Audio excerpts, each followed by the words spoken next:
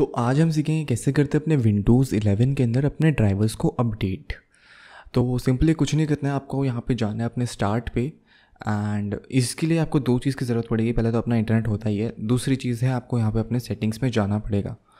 तो सबसे पहले अपने स्टार्टअप पे क्लिक कर लेते हैं। याद रखना, यहाँ पे आपको यहाँ पे राइट क्लिक करना है एंड राइट क्लिक करने के बाद आपको जाना पड़ेगा अपने डिवाइस मैनेजर पे।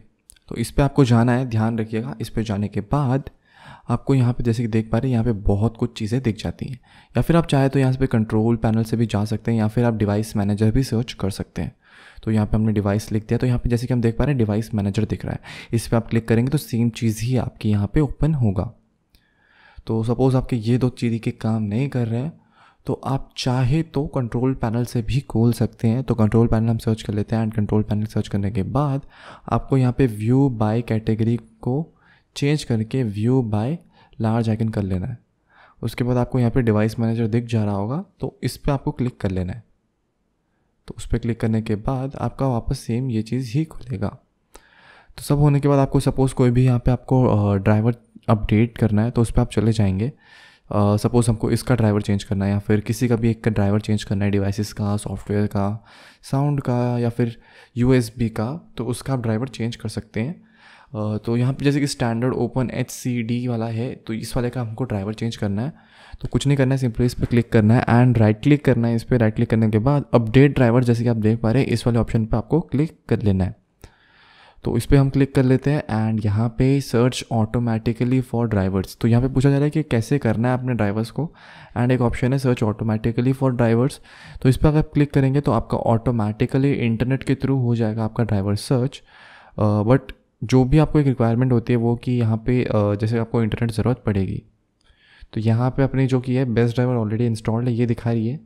बाकी दूसरे ऑप्शन में भी जा सकते हैं search for updated drivers on Windows update तो यहाँ पे तो ये लिखा रहा था, बाकी दूसरे वाले पे अगर हम ट्राई कर सकते हैं, उसमें भी जाके, या फिर आप इसको सिंपली क्लोज कर सकते हैं बिकॉज़ यहाँ पे अपनी जो ड्राइवर बेस्ट ड्राइवर थी, वो ऑलरेडी इंस्टॉल्ड दिखा रही है।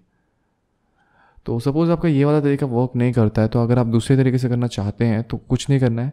आप इसको अपडेट बाय मैनुअल भी अपडेट कर सकते हैं। आपको सिंपली आपको सेम इसी वाले का जो ड्राइवर है, उसको आपको इंटरनेट के थ्रू डाउनलोड करना पड़ेगा। एंड डाउनलोड करने के बाद एक पर्टिकुलर फोल्डर पे रख के आपको यहाँ से browse my computer for drivers पे क्लिक करना है। तो इस पर आप क्लिक कर लीजिएगा, करने के बाद आपको यहाँ पे जो कि ब्राउज़र है, आपका मतलब जो कि आपका फ़ाइल है, वो यहाँ पे चूज़ करना पड़ता है ड्राइव ड्राइवर को। एंड यहाँ से आप ड्राइवर को चूज़ कर सकते हैं एंड ओके प्रेस कर सकते हैं। तो यहाँ से करके भी आप यहाँ से अपना इंस्टॉल कर सकते हैं और let me pick a list of available drivers on my computer तो ये भी आप कर सकते हैं क्योंकि बहुत सारे ड्राइवर्स हो सकते हैं आपके यहाँ पे कैटेगरी करते हो सेम सेम ड्राइवर के लिए मतलब सेम चीज़ के लिए तो वहाँ पे आप चूज़ भी कर सकते हैं। इस पर अगर आप क्लिक करते हैं तो। तो यहाँ पे जैसे कि एक ही दिखा रहा है तो यहाँ पे एक ही है। फ़िलहाल के लिए अगर बहुत सारे ऑप्शन दिखाया जाता है तो आपको उसको चूज़ करने का ऑप्शन मिल जाता है। इंस्टॉल कर लेना है देन आपका विंडोज़ सक्सेसफुली यहाँ पे ड्राइवर्स को इंस्टॉल कर चुका है, दिखा रहा है। तो सिंपली क्लोज कर लेना एंड कुछ नहीं, आपका यहाँ पे ड्राइवर अपडेट हो जाता है। सपोज़ जितने भी मैंने अभी मेथड बताए, वो सारे मेथड वर्क नहीं कर रहे हैं। तो सिंपली आपको यहाँ पे जाना है। एंड जाने के बाद आपको प्रॉपर्टीज़ पे क्लिक करना पड़ेगा। एंड एक बार आपका यहाँ पे प्रॉपर्टीज़ पे क्लिक हो जाता है तो यहाँ पे आपको ड्राइवर्स पे जाना है। ड्राइवर्स पे जाने के बाद यहाँ पे जैसे कि देख पा रहे हैं ड्राइवर डेट तो ये डेट है कब यहाँ पे आपके ड्राइवर बनी थी। एंड जैसे कि आप देख पा रहे हैं, ये बनी थी टू सिक्स में तो बहुत पुरानी ड्राइवर है। एंड उस टाइम इसका मैनुफैक्चर हुआ था। यहाँ पे अपडेट ड्राइवर का भी ऑप्शन दिखा दे रहा है। तो यहाँ से आप कर सकते हैं डायरेक्टली अपडेट अपने ड्राइवर को। बाकी कुछ एक्स्ट्रा डिटेल्स यहाँ पे दी गई है एंड इवेंट्स दिए गए कि आपका लास्ट अपडेट कब हुआ था। तो कुछ इस प्रकार से करते हैं अपने विंडोज़ 11 के अंदर अपने ड्राइवर्स को अपडेट